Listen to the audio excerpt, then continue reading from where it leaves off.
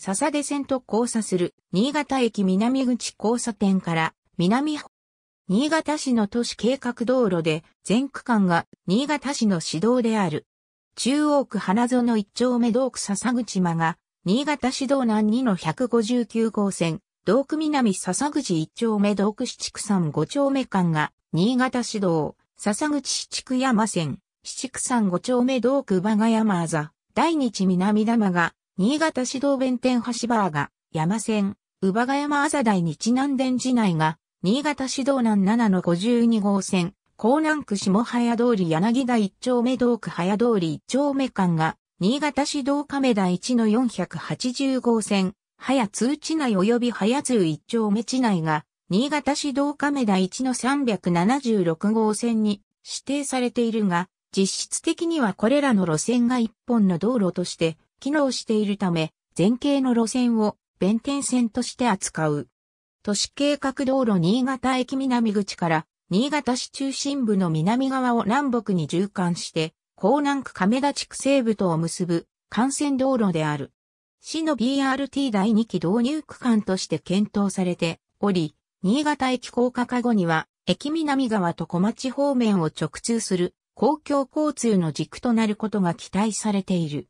現在でも多くの路線バスやビッグスワン、新潟県立野球場方面のシャトルバスが運行されており、新潟駅、南口駅前広場からバーガ山交差点間には公共車両優先システムが導入されている。新潟市の都市計画道路の一つ、新潟バイパスや高速道路などの広域道路と接続し、鳥屋の方南部地区への機関アクセスルートとして新潟市南部の都市軸を形成するシンボルロードに位置づけられ、1960年代後半から順次南側へ延伸した。開通当初は全線2車線で、北側の旧市域では1970年代から沿線の山形、石山地区をはじめとした周辺地区、市町村で住宅地開発が進捗するにつれ、渋滞が慢性的に発生するようになった。また南側の旧亀田町川は、水田と足が生い茂る湿地帯を経由する見通しの悪い道路だった。1981年度からは、新潟駅資金の笹で線交差点から南側の約200メートルの区間の拡幅工事が行われ、1992年に完成。1990年代中盤には亀田町川の区間が亀田工業団地や北陸自動車道の整備と並行して亀田町の都市計画道路、亀田工業団地線として整備が進められ、1993年11月にちょうど1から480号線が全線開通。また、旧市域側の区間については2002年の FIFA ワールドカップや2009年のときめき、新潟国体、ときめき、新潟大会の開催地となる新潟県スポーツ公園へのアクセス道路として重点的に整備が進められることになり、旧市域の区間は2002年春に暫定4車線化を完了。その後順次改修が行われ、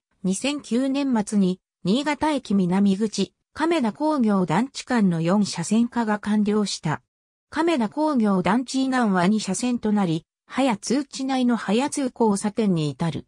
現在は、道高北側で整備が中断しており、旧道によって、高知東側を迂回している。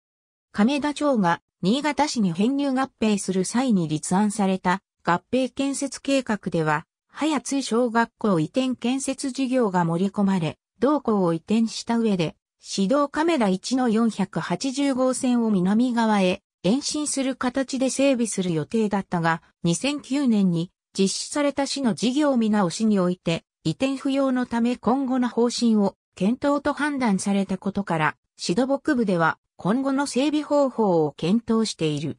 なお、新潟駅、もず口川には、新潟市道弁天町線があるが、東市道とは直接接続していない。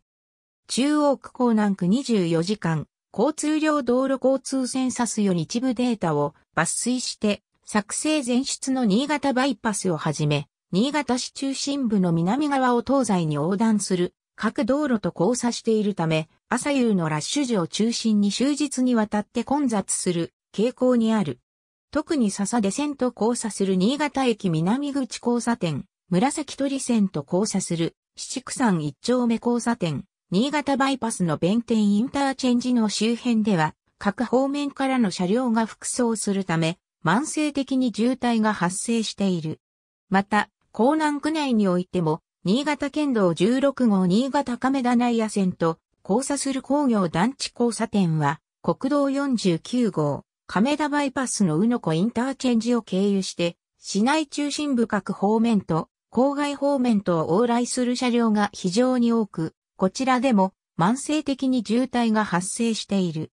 このため所轄する江南警察署では2010年5月18日から工業団地、うのこインターチェンジ下の両交差点の信号機を進行方向別表示式に変更し、混雑緩和を図っているものの、うのこインターチェンジ周辺には、アピタ新潟亀田店などの大型商業施設が数多く出店しており、また、県道16号のうのこインターチェンジ等の区間が、現在も片側1車線となっているなど、道路整備が追いついていない箇所が多く、抜本的な混雑解消には至っていない。